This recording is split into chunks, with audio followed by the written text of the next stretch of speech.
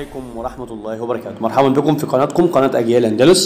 النهاردة وزير التعليم يا جماعة بيحدد ثلاث بدائل الامتحانات أولى ثانوي إلكتروني آه مفيش خوف إن شاء الله من الامتحان ده. إن شاء الله هتعدي السنة على خير وإن شاء الله هنوصل لسنة تانية. بس أهم حاجة نستفاد من التجربة.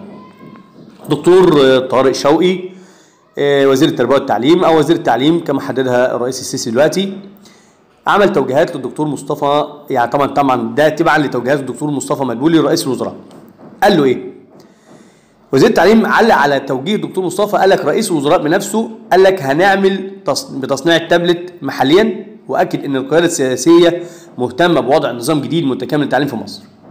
تمام؟ المهم المهم اللي يهمنا في الموضوع ده إيه؟ اللي الدكتور شوقي خلال مداخلة هاتفيه مع الإعلامي عمرو أديب في برنامج الحكاية موجود على التلفزيون كان الكلام ده يوم السبت. قال لك اللي هو راجع مع رئيس الوزراء الخطوات المقرر اتخاذها إن شاء الله في الفترة المقبلة اللي الوزاره هتعملها في مراكز البحث. اللي هو حكاية بقى تجميع التابلت محليا وتصنيع البرمجيات وأكد إن التصنيع المصري موضوع على خطة تطوير التعليم والكلام ده كله. وأكد وزير التعليم برضو إن تطوير التعليم الثانوي غير مرتبط بالتكنولوجيا اللي هو الثانوي العام الغير مرتبط بالتكنولوجيا اللي وصفها بأنها مجرد عامل مساعد فقط إن في ثلاث بدائل لامتحان مايو المقبل إن شاء الله للصف الأول الثانوي اللي إن شاء الله هيتعمل في شهر مايو. وفي نظامين لأسئلة الإلكترونية وإذا تعرض إحداهما لأي عطل سيتم استخدام الثاني وإذا تعطل الاثنين هيتم استخدام البديل الثاني هو إيه بقى ال- ال- البدائل دي كلها؟